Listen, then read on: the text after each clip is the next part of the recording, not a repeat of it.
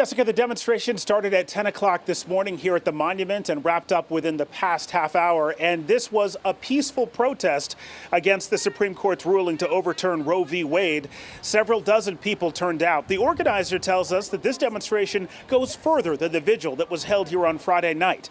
Now, the organizer says it's about action. This protest was timed to coincide with a national general strike.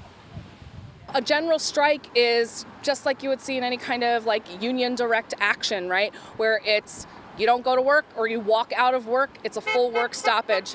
Woo, thank you. Um, we want people to really send the message that if you're going to shut down our bodily autonomy, we're going to shut down the economy. While abortion remains protected here in Massachusetts, these protesters say the bigger issue to them is the right to privacy. They say their mission is to make their voices heard here and in Washington, as well as in states where abortion is now illegal. Reporting live in Swampscott, Todd Kazakiewich, WCVB News Center 5.